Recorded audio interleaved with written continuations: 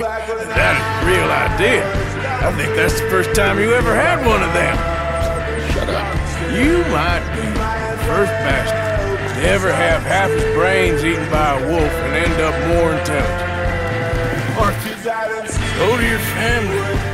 Arthur, get the hell out of here and be a goddamn man. You're my brother.